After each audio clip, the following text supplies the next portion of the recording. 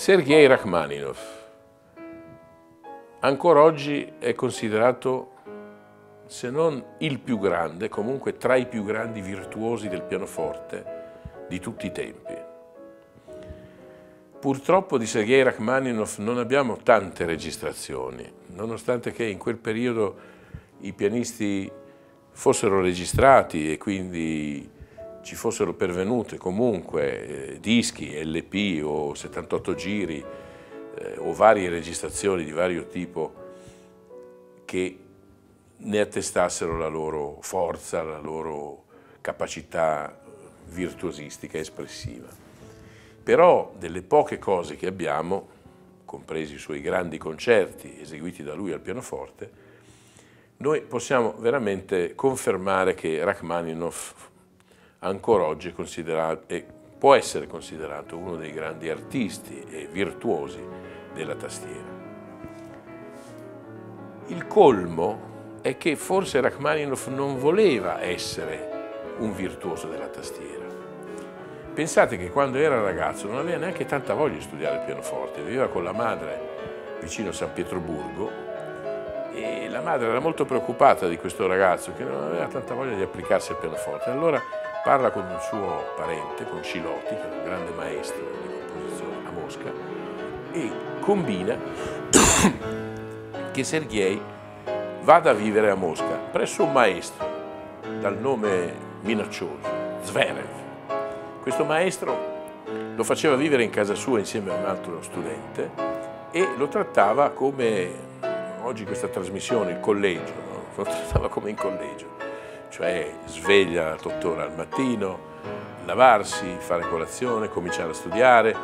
suddividere il lavoro dello studio in un certo modo, poi insomma a fine settimana esecuzione davanti a degli amici musicisti.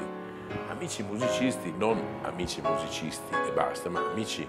importanti. E lì, in casa di Zverev, che Rachmaninoff conosce, Piotr Ilyich Tchaikovsky, che era considerato il più grande compositore russo,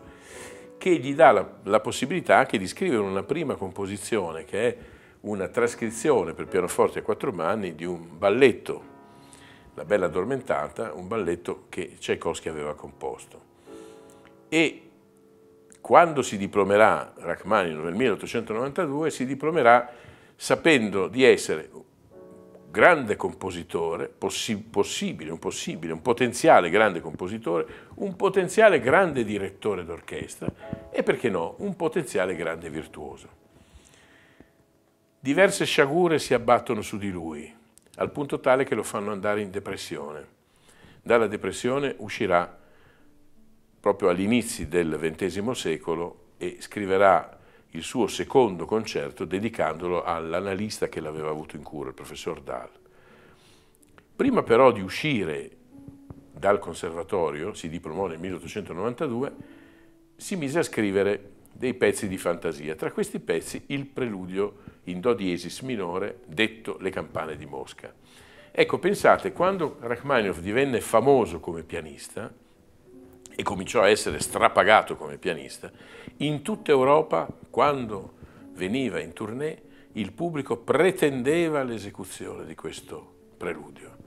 che per il pubblico era la cosa più grande scritta da Rachmaninoff. Questo è un po' il colmo. Abbiamo dovuto aspettare poi gli anni 60, quando Sergio Fiorentino, morto Rachmaninoff negli anni 50, decise di eseguire tutto Rachmaninoff per pianoforte, credo in 5 o in 6 concerti, adesso questo non lo ricordo precisamente, però Fiorentino eseguì tutto, quindi le due sonate, eseguì i momenti musicali, opera 16 che oggi sono famosissimi, sono stati eseguiti per la prima volta da Sergio Fiorentino in Italia, perché purtroppo anche il pubblico italiano, il pubblico dei grandi concerti come quelli del quartetto per esempio, venne negli anni 40 a Milano la società del quartetto, non voleva sentire Rachmaninoff che suonava la sua musica, voleva sentire Rachmaninoff che suonava Chopin, Schumann, Liszt, eccetera, eccetera, e il preludio in do diesis, qualche volta anche l'elegia, sempre tratta dalla stessa raccolta di pezzi per fantasia, opera 3. Ecco, diciamo che questo è il preludio più semplice scritto da Rachmaninoff, il più, eh, come si può dire, il più giovane di tutti i suoi preludi, anche dal punto di vista armonico non è assolutamente difficile, è un pezzo di grande effetto perché in qualche modo riproduce queste campane straordinarie di Mosca e ha un'atmosfera molto cupa. È chiaro che quando una persona va in depressione, va in depressione perché è abbastanza fragile dal punto di vista eh, emotivo e quindi dal punto di vista della sua stessa vita. Eh, Rachmaninov nel 1893 si vede solo perché muore Tchaikovsky che era suo mentore, Zverev lo caccia perché voleva che lui facesse solo il pianista e non il compositore o il direttore d'orchestra,